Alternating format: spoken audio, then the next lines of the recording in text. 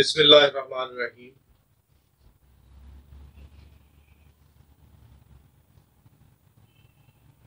مجھے ایک کیوری آئی ہے کہ پتا چلا ہے کہ ہماری زمین ہے، ہمیں اس کے ڈاکومنٹس مل گئے ہیں۔ جب موقع پر گئے تو وہ کسی اور کے قبضے میں تھی۔ تو ہمیں بتایا جائے کہ اس کا کیا حل۔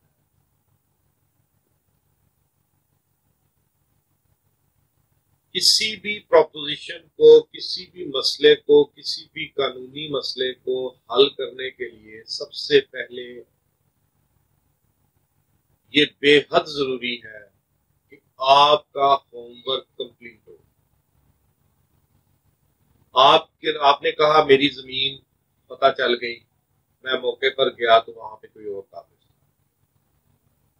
وہاں پہ کوئی اور کیسے قابض تھا۔ پہلا سوال تو آپ کا یہ پوچھا جائے گا، جب بھی آپ کسی کے پاس جائیں گے، کسی بھی فورم میں، آپ ریونیو فیلڈ اسٹاف کے پاس جائیں گے، آپ کورٹ میں جائیں گے، آپ تھانے میں جائیں گے، سب سے پہلا سوال یہ پوچھا جائے گا کہ وہ شخص کس ڈاکومنٹ کس وجہ سے وہاں پہ قابض ہے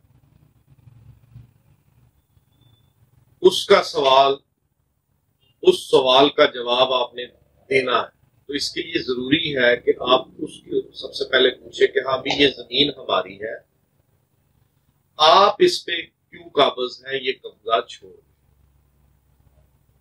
اگر تو وہ کہتا ہے جی کہ میں اس، میرے پاس بھی ملکیتی ثبوت ہے، میرے پاس بھی معاملات ہے پھر اس ملکیتی ثبوت کو آپ نے تھریش آؤٹ کرنا ہے۔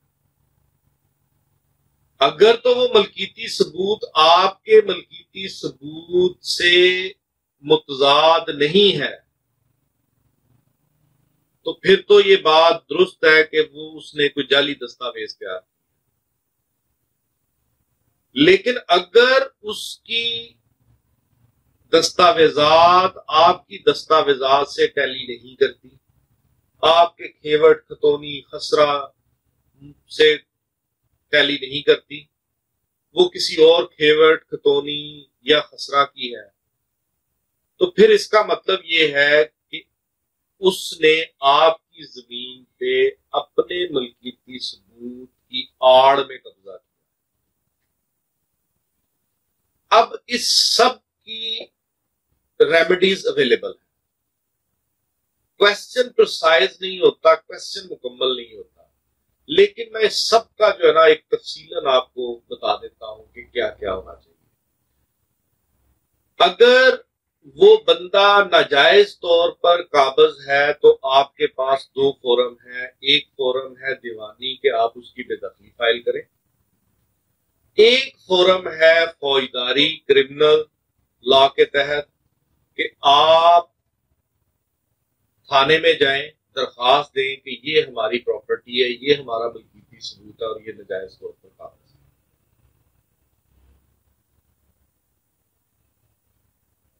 ریپڈ ہے، جلدی کام ہو جائے۔ اگر وہ کسی ڈاکومنٹ کی اسٹرینتھ پہ اس پہ قابض ہے،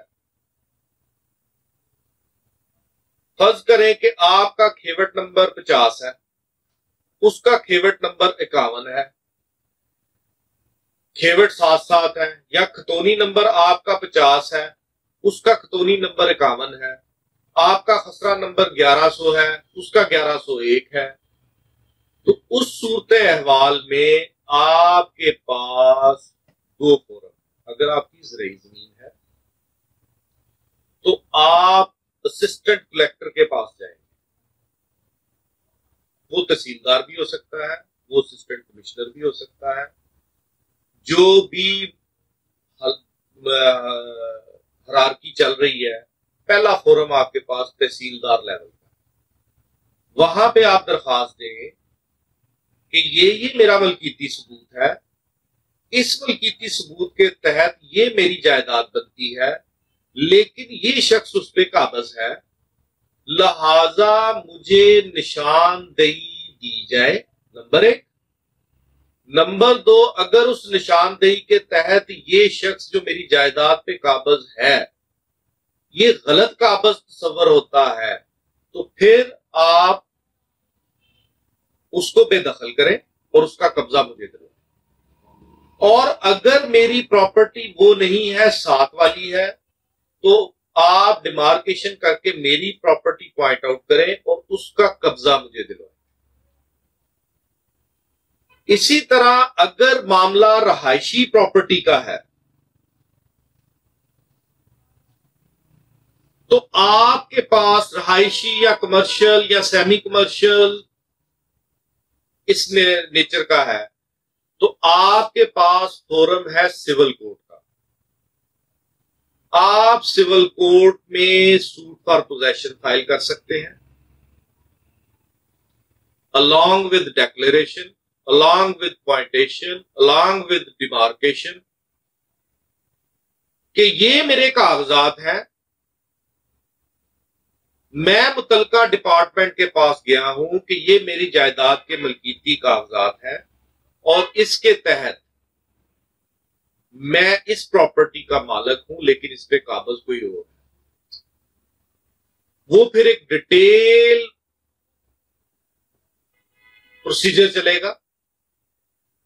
عدالت کو آپ کے وکیل صاحب اسسٹ کریں گے پراپرلی اسسٹ کریں گے، اور اس کے تحت سٹیپ بائی سٹیپ اس دعوے میں معاملات طے پاتے جائیں گے اور ایٹ دی اینڈ آپ کی پراپرٹی جہاں پہ بھی ہے وہ آپ کو مل جائے گی۔ ایک بات اپنے معافی ضمیر میں بٹھا لیں، اگر آپ کے پاس پراپرٹی کے ڈاکومنٹس ہیں، وہ جینون ہے متعلقہ ڈپارٹمنٹ میں ان کا وجود موجود ہے، تو آپ کی پراپرٹی آپ کو ہر صورت ملے گی۔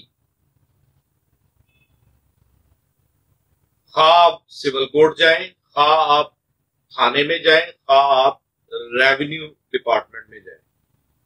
آپ کی پراپرٹی آپ کو ضرور ملے امید کرتا ہوں کہ میں نے آپ کے سوال کا جواب دیا۔